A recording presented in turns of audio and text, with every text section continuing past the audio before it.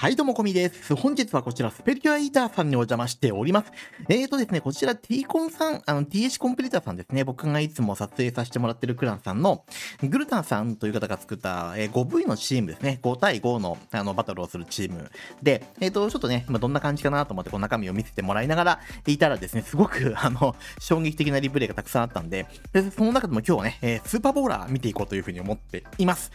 で、えー、っとですね、今回見たいのは、これ、えー、っとね、結構いっぱいこう、今日飛ぶので、あっちゃこっちゃに。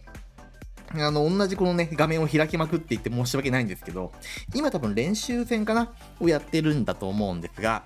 はい、これ、スーパーボーラーのね、編成って、まあ、簡単に言ってしまうと、えー、中華式ですね、ペッカスパビズ、じゃん、ペッカスパビズか、の、えー、っと、ペッカスパビズの部分を、え、スーパーボーラーに変えたという感じですね、これ。だいたい4体ぐらいスーパーボーラー持ってくるのが主かなと思います。で、ヒーラーは5体ですね。で、えー、ジャンプの呪文は1枚に、えっ、ー、と、ランチャー1個。これ結構、スタドラさんの中華式の変遷に似てるかな。あの、ネクロマンサーもいるし。で、えっ、ー、と、これどういう風にやっていくかっていうと、あのまずはグランドボーデンのお出ひで攻めていくんですが、うんとね、なんて言えばいいのかな。一番最初狙うポイントっていうのは、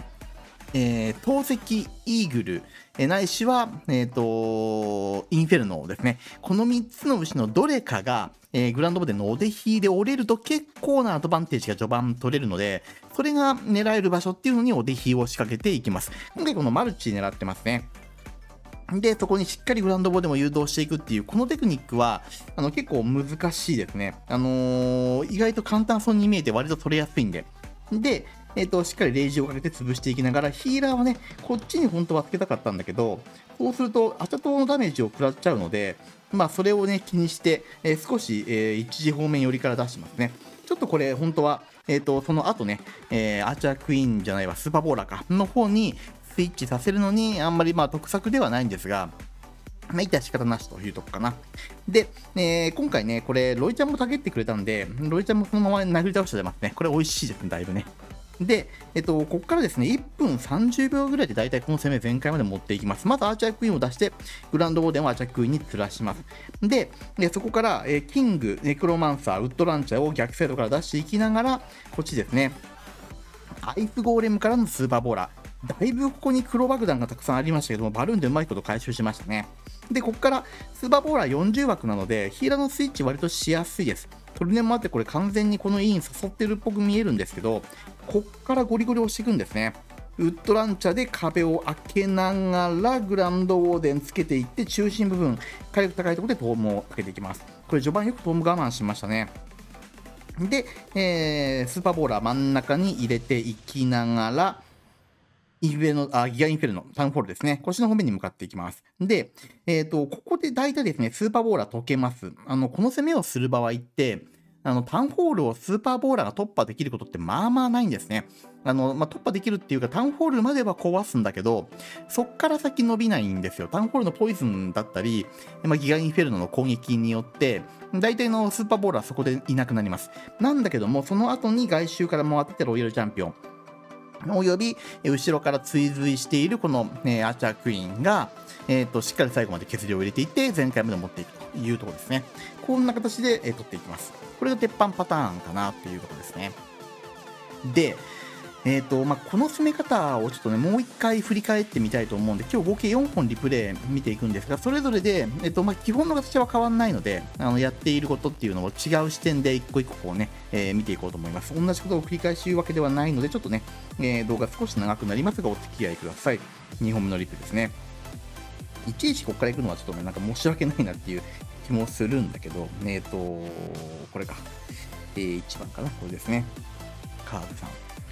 で、えーと、今回も狙っていくのはイーグル砲ですね。えー、アーチャークイーン、オアグランドボディのおでひでイーグル砲、投石、インフェルノ。まあ、タウンホールが狙えれば結構それはそれで美味しいんですけど、まあ、そういう村ってめちゃくちゃ多いわけではないので、まあ、狙っていくのは今言った3つが主ですよね。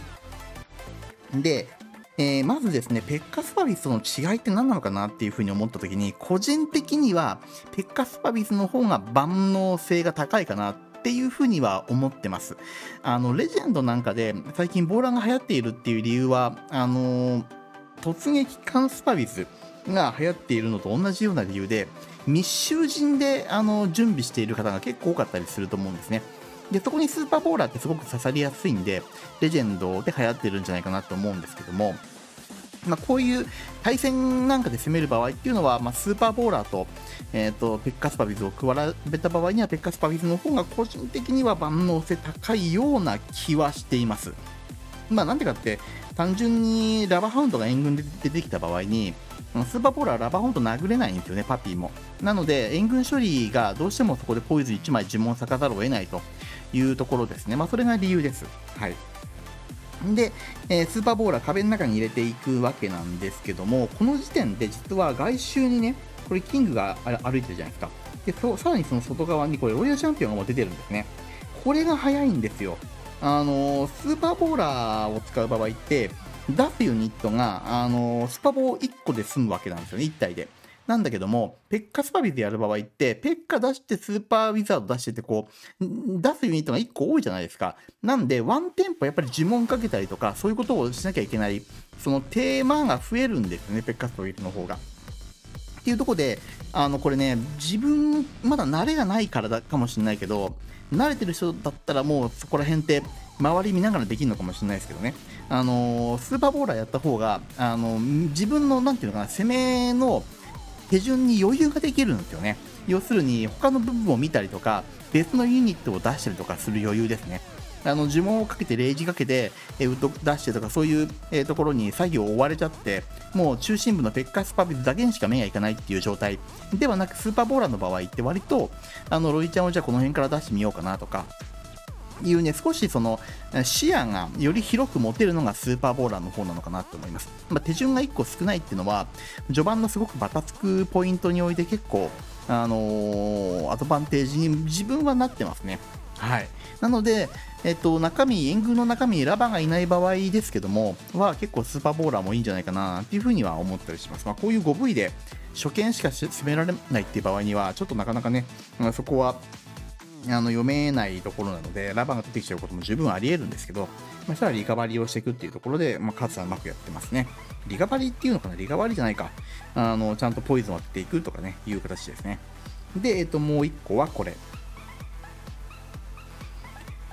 これも同じですね。グランドオーデンのお弟子から展開していきながら、ペッカスパビズをな、あと、スーパーボーラーを流し込んでいく。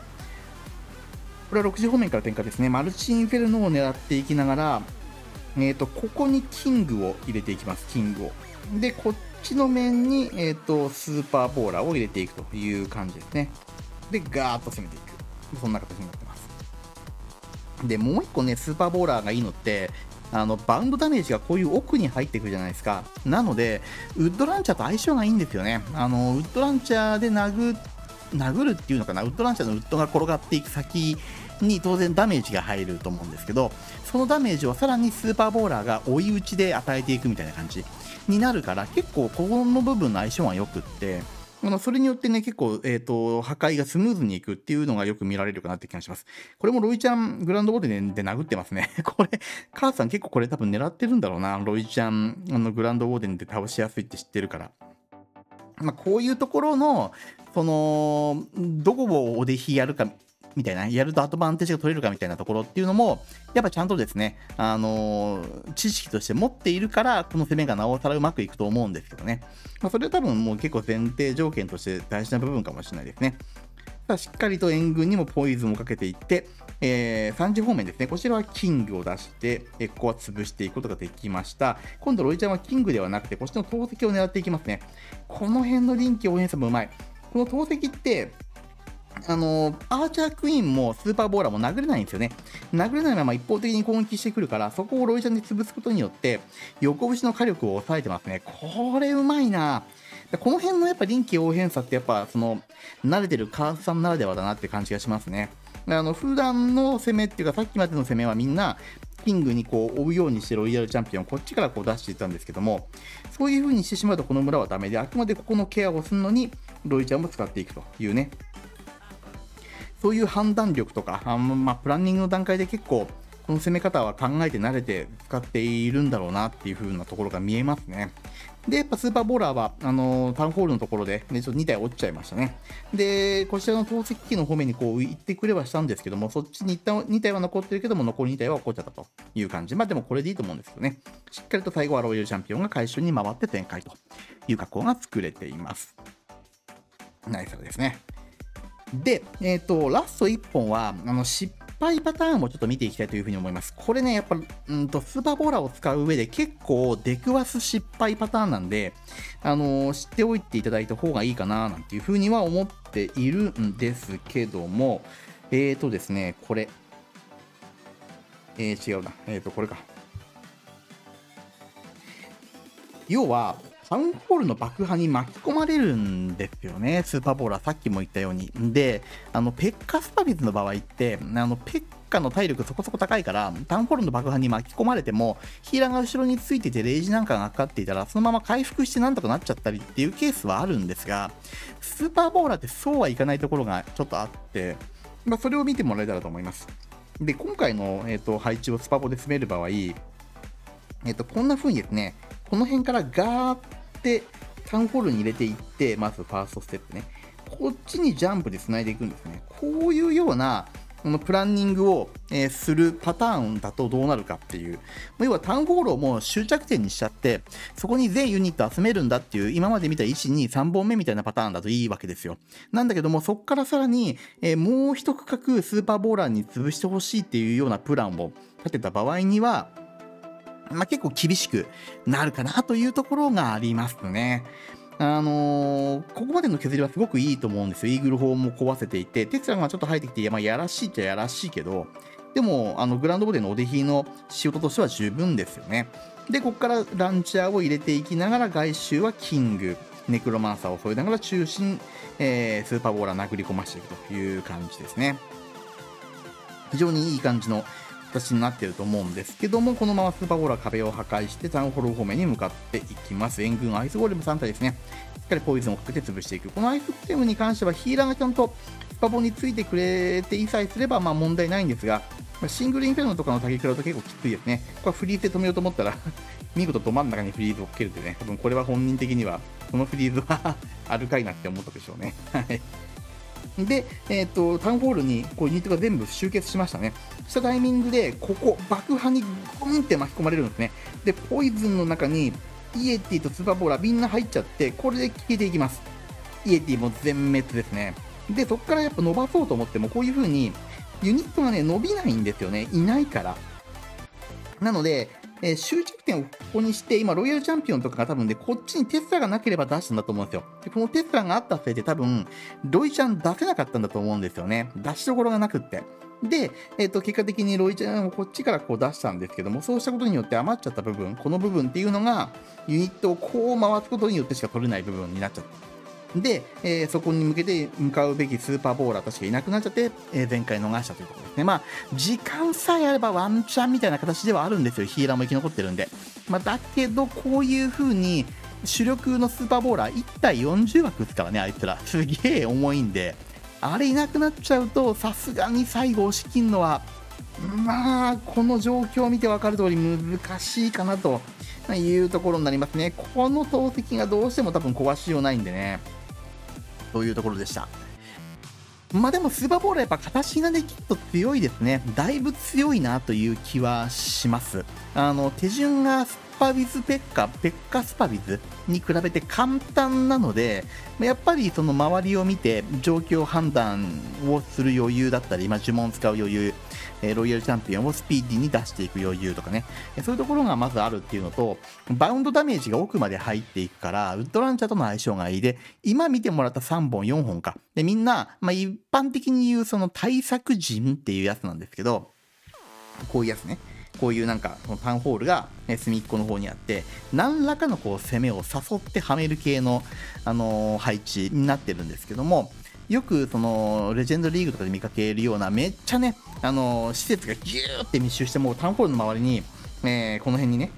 あの透析だったりインフィルムとかがもうガガガガガガガってこう密集しているような村を攻める場合っていうのは